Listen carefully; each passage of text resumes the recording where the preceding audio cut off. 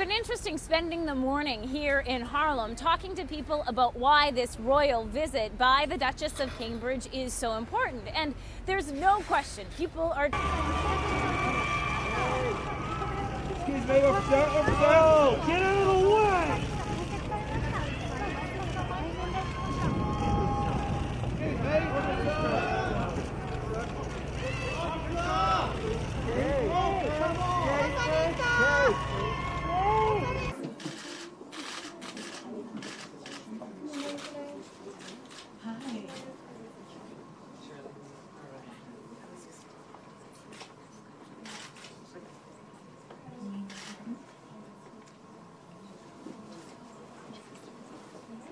history that uh, one of the displays is the Black Whalers Museum from Sag Harbor that they so, so just as you walk out would be on the right hand side, but they do. Woman is expecting her second child. The other charity that is first and foremost on the minds of the royals as they're here in the U.S.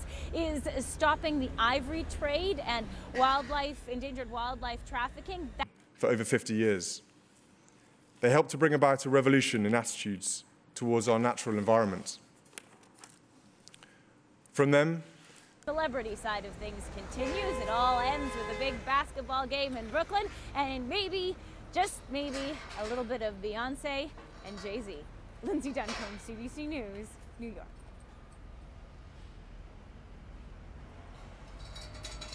Okay?